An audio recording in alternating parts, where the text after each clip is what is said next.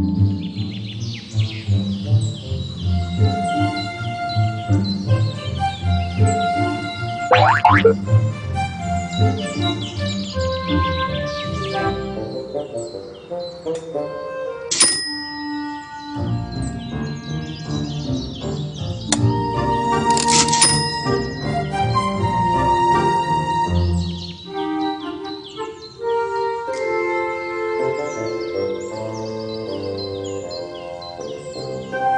Good morning. It's Friday, March 15th, and there's something very interesting going on in the New York City public transit systems, the subways primarily. That reminded me of something that I did back in the late 1940s.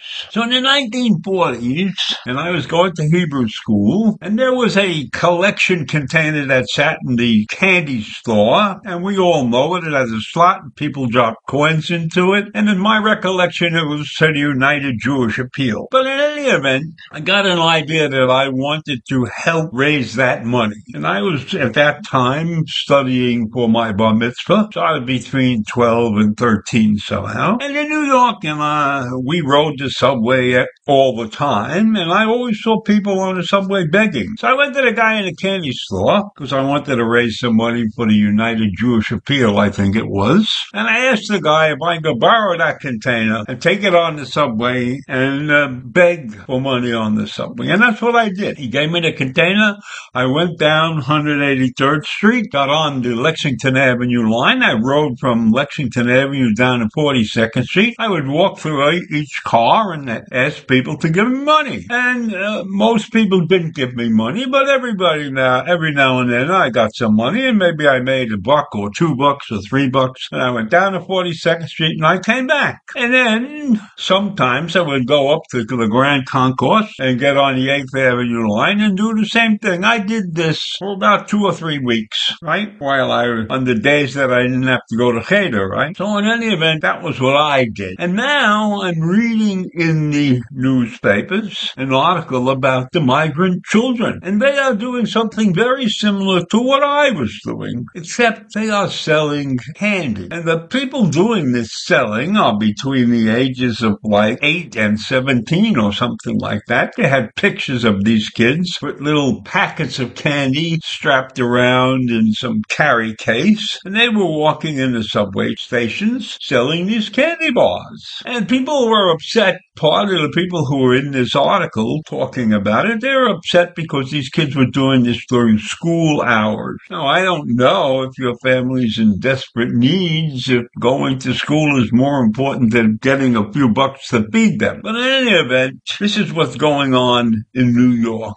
right now. And the major issue is that nobody in the New York City government or the state government is responsible for taking care of this situation. And that's what the main issue presented in this article was. Who's supposed to take care of this situation? It wasn't that people were objecting to the mere fact that these children were out raising money so that their families could survive, and they weren't objecting because they were migrant children. The, inject, the objections came about because nobody could put a finger on the New York City organization or the state organization that was responsible to monitor this situation to possibly stop it or improve it or do whatever it is that these people who were worried about it wanted them to do. And so I said to myself, that's strange because there should be somebody that's responsible for some activity that's going on. But maybe the New York City government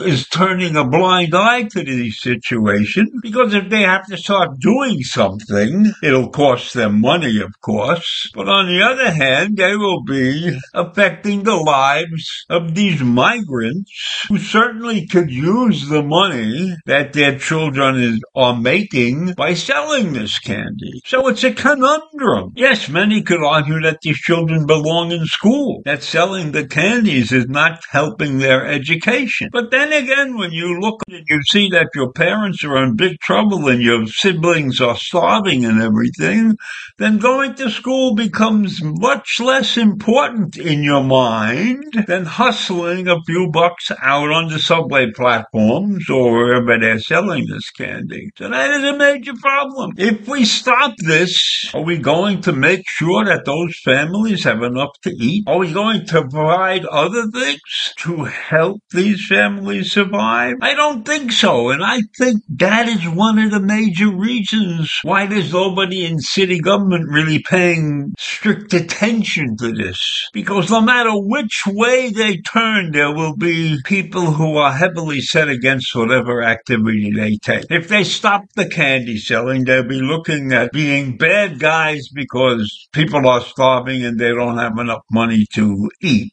And then the other side of the coin will be those people who are saying these kids belong in school and if their family is starving a little bit, they got to figure out a way, but the kids need to be educated. So I don't have an answer. I don't have a good answer. And we know these kids need to go to school and the Department of Education has attendance teachers who work to ensure that their kids are sent to school, but they don't really do any checking on that. And the police department has issued some some 1100 summonses for panhandling on the subways, but they don't do anything about it.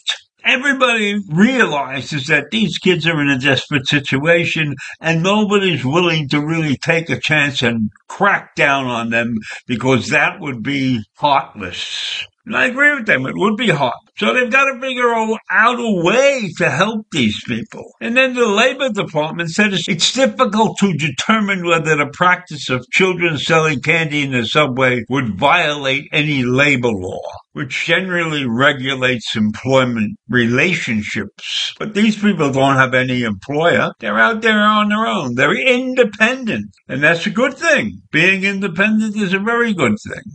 The State Office of Children and Family Services, which runs a hotline, said that a child selling merchandise or panhandling would not be considered maltreatment or neglect unless they could definitely determine that there was harm involved. So if the child is not selling candy at a dangerous intersection, leave him be. Leave him or her be. Interestingly, many of these children are from Ecuador, and they were selling candy in Ecuador to survive. So the coming to the United States may have been giving them an opportunity of some kind, but they still have reverted to a standard of living that they maintained while they were in Ecuador. And their parents had simply said they haven't figured out how to get them into school yet. So that's something else that we have to deal with. But it seems like this is a universal problem, not necessarily confined 100% to the United States. But we certainly should figure out a way to accommodate all of these children in need. I don't see anything wrong with them hustling to make a few bucks, but why don't we make sure that they do it before or after school? So I'll leave you with that this morning. A community that is surviving by selling candy. Have a great day. Take care. Bye.